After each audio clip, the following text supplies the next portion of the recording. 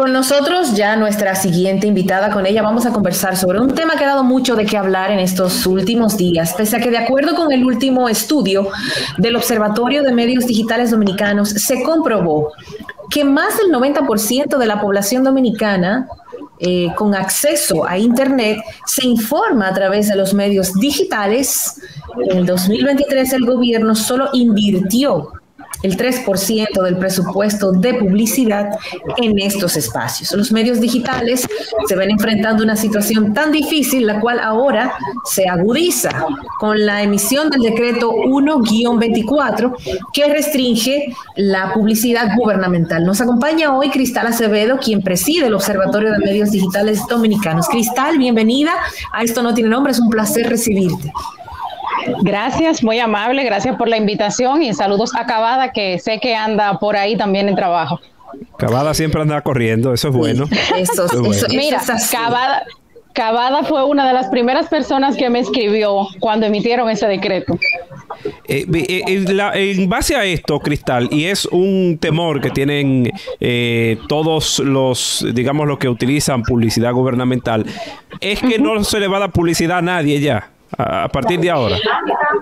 No, no creo que la intención del presidente de la República con el decreto 124 sea limitar el acceso a la publicidad de las personas que dignamente viven de este tipo de servicios o de trabajo, como son los medios de comunicación, y en particular los emprendedores, dueños de medios emergentes que actualmente invierten grandes sumas de dinero en pago de impuestos y en pagos operativos de estos medios. Sin embargo, muchas veces no se ven retribuidos por ganancias porque tienen que invertir en Internet, en una oficina, en un empleado, en pagar el 18% de impuestos, el impuesto sobre la renta, y si son personas físicas y no están registrados como personas jurídicas, en adición a todo lo que te he mencionado, pagar el 10% del impuesto que se paga cuando uno solamente se ha registrado como persona física. ¿Qué es lo que ha afectado o podría afectar la emisión de este decreto? La democratización de las pautas publicitarias y sobre todo el acceso que pueden tener personas de menores recursos y con medios más pequeños. ¿A qué me refiero? El literal D del artículo 6 del decreto habla de que la publicidad se va a colocar a partir de todo lo que tiene que ver con el costo por publicación o por publicidad. Y el literal C del artículo 8 nos habla acerca de que la publicidad sería colocada a partir del alcance geográfico que tiene cada uno de los medios que vaya a ser contratado. ¿Qué ocurre con los medios digitales en particular? En la República Dominicana contamos con más de 819 medios digitales distribuidos en todo el país y la mayoría de estos medios, para darte una cifra exacta, porque el observatorio se maneja con estadísticas medidas de manera científica. Más de 400 de estos 819 medios o dueños de medios digitales no son proveedores del Estado, es decir, que apenas el 50% de las personas de las personas que tienen un medio digital no están formalizados justamente por la alta carga impositiva. Te pondré un ejemplo. Eh, yo, por ejemplo, puedo tener una publicidad de 100 mil pesos y al final a mí me entregan 72 mil pesos. Yo pierdo 28 mil pesos porque yo tengo que pagar el 18% de impuesto y el 10% de persona física. ¿Por qué los medios emergentes prefieren registrarse como persona física y no como una persona jurídica? Por algo simple. Quien se registra como persona jurídica tiene que contratar empleados, tiene que pagar TCS y la mayoría de los medios digitales dominicanos están conformados simplemente por una persona. Cristal pone un periódico digital y como soy periodista yo misma lo actualizo, yo misma busco las noticias, yo misma redacto, porque ese emprendimiento no me deja las ganancias para yo contratar un empleado. Entonces por eso uno se registra como persona física para cumplir con todas las obligaciones fiscales de la República Dominicana y tener un acceso legal a las pautas publicitarias. Sin embargo, a mí me penalizan con el cobro de un 10% adicional, cuando la política pública debería ser beneficiar o mejorar las condiciones de vida de los emprendedores para que nuestros emprendimientos sean exitosos y el Estado tenga una menor carga de personas vulnerables o que necesiten ayuda. Al Estado es a quien le conviene que los dominicanos y las dominicanas tengamos las oportunidades que necesitamos para poder desarrollarnos y poder mantener a nuestras familias de una manera digna dicho esto, Cristal, y es algo, te voy a hacer mi historia. El fin de semana estuve en Montecristi, eh, me reuní con unos colegas en Montecristi, periodistas eh, locales, y lo primero que me dijeron fue, Manzanillo, y disculpen el término, nos jodimos porque ya el gobierno no nos va a dar publicidad. Yo le digo, bueno, pero esa no es la... la eh, o sea, ustedes leyeron el decreto, le pregunto. Sí, yo lo leí por arribita, que si yo que digo, no, no, pero es que tú tienes que leerlo a fondo para que tú sepas qué es lo que está pasando, porque el que tú lo leas por arribita y veas ciertas restricciones, no quieres dicho que no te la van a dar. Entonces, lo que pasa es que ellos tienen, ellos tienen la queja de que sin el decreto no les daban y ahora con el decreto le darán menos. exactamente. bueno, no me leíste la mente. Dicho esto, entonces, ya respondiendo a la pregunta de manera llana para el que lo esté escuchando, no es que no se le va a dar la publicidad, es que hay ciertos contenidos que se van a restringir, ¿verdad que sí, Cristal? No, no es eso lo que dice el decreto. El decreto lo que dice es en todas sus partes que, mira, te voy a hacer la historia para ir directo al grano porque a mí me gusta ser honesta. Sí, el miedo que tienen los medios digitales es porque hace un año y seis meses o más, en mayo del 2023, yo le entregué al vocero de la presidencia, el señor Homero Figueroa, la base de datos del Observatorio de Medios Digitales, donde está el nombre, el apellido, si son proveedores del Estado o no, está el correo, está la dirección, está la provincia, el nombre del medio, la URL y todos los detalles que el gobierno necesitaba para hacer una distribución publicitaria equitativa con todas entre todas las personas que tienen medios digitales, en total registrados al menos en el Observatorio de Medios Digitales 419 en ese momento. ¿Para qué se le entregó? Porque él me la solicitó justamente para ayudar a los periodistas digitales con una colocación publicitaria que nunca se realizó. Esas personas, él me pidió que las llamara por teléfono, que las contactara y que le informara que el gobierno dominicano los iba a apoyar. Luego de que yo llamé a todas esas personas, nunca lo hizo. Mm. Sin embargo, el gobierno dominicano ha licitado 5 mil millones de pesos. Cuando yo me reuní con el señor Homero Figueroa y le entregué la base de datos, yo misma, que soy malísima en matemática, le expliqué, no tienes que darle publicidad por cuatro años, porque eso sería incluso no solo un derroche, sino un abuso. Yo me conformo como activista en favor de los digitales con que tú beneficies a cada medio, aunque sea con un mes de publicidad, que ese periodista pueda decir que el Estado dominicano en algún momento le facilitó algo con lo que él pudo comprar la receta de su niño, o pudo comprarle una lata de leche a su bebé. Cristal, ¿y por qué debería, perdón, me voy a convertir un poco en un poco de abogado del diablo, porque la gente de la calle normal, común, se queja mucho de la cantidad de dinero que el Estado invierte en los medios de comunicación en general. Yo sé que estamos hablando específicamente de los medios digitales, pero, para la gente común... Para que entiendas que eso nunca ocurrió.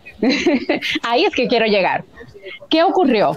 Se ve que se hace una licitación en ese momento de 1.800 millones de pesos.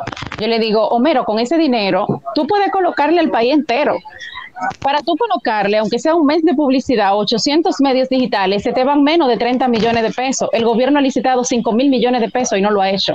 A pesar de que me pidió una información que para mi institución es confidencial y que se la entregué al gobierno dominicano simplemente porque me la solicitó para ayudar a mis compañeros ahí era que quería llegar y disculpa que te interrumpí, Miralba. Nunca se hizo, nunca se colocó la publicidad y hasta ese momento esas personas me llaman, me escriben para reclamarme que fueron utilizados.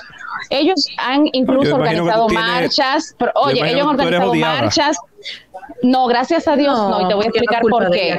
Mira, han organizado marchas, han organizado protestas, han organizado de todo tipo de manifestaciones y yo en todo momento he solicitado que no se haga porque no es culpa del presidente. Cuando viene a ver el presidente ni lo sabe. Entonces no podemos afectar a alguien que está tratando de hacer un buen gobierno por alguien que cometió un error.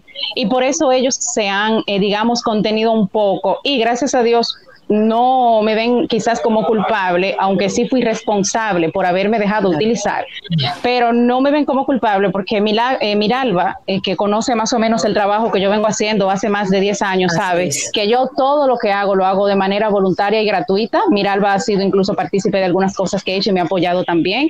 Yo no cobro por dar ningún entrenamiento, Miralba lo sabe, y tú creo que tú has participado también, Ariel, en algo, alguna cosa que hemos hecho.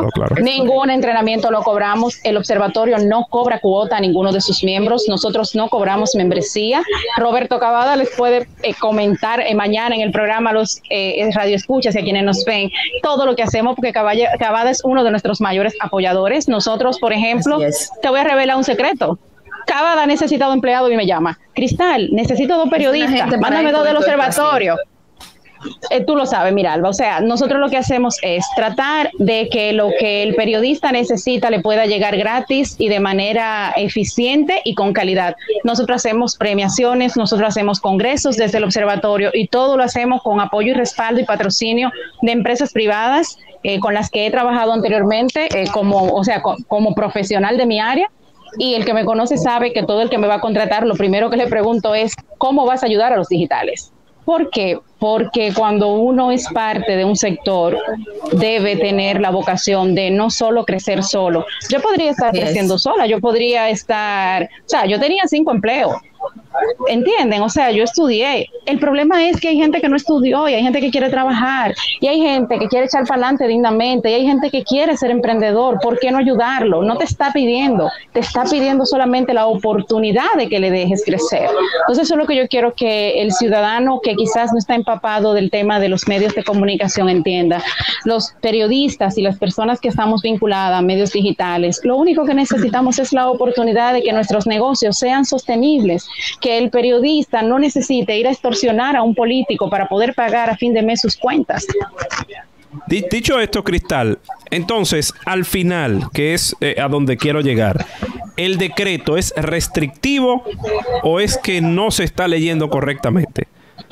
Yo creo que el decreto ni se ha leído correctamente ni es restrictivo. Yo creo que el decreto fue mal elaborado en, las, eh, los criterios y las consideraciones que tienen que ver con los parámetros para la colocación publicitaria. Por ejemplo, y es un ejemplo que he dado antes y que le comenté acabada cuando me escribió por WhatsApp, Ariel Manzanillo, Miralba Ruiz son personas que tienen un periódico digital con un contenido de calidad. Lo leen dos personas porque es un contenido, por ejemplo, cultural. Cristal Acevedo tiene una página de noticia falsa, de inventarse chisme, de hablar de ah. Yailin, de los foques, de fulano, y lo leen 100 mil. Tú te piensas que hay que ponerle más publicidad a Cristal porque habla de disparate que a Miralba que está narrando en qué consiste una obra literaria. Entonces el decreto está penalizando al que hace un contenido de calidad, porque uno de los criterios de evaluación es el alcance que tienen esos medios de comunicación. Y nuestro, nuestros medios de comunicación, si queremos seguir construyendo una sociedad mejor, no pueden ser evaluados por la cantidad de gente que los lee, porque un perfume no es bueno porque sea barato, un perfume es bueno porque dura. Entonces, si nuestros medios van a ser evaluados solo por la cantidad de gente que lo consume, ¿dónde va a quedar el periodismo de calidad, los contenidos que realmente tributan a que nuestro país pueda desarrollarse? Yo ponía el ejemplo de José Rafael Sosa, una eminencia, una gloria del periodismo dominicano. José Rafael Sosa ha pasado más de 40 años de su vida haciendo periodismo cultural. Entonces, como a él casi nadie lo lee porque habla de cultura, le vamos a quitar la publicidad y se la vamos a dar a alguien que simplemente publica mujeres desnudas. Creo que eso es lo que nosotros exigimos y solicitamos que sea revisado.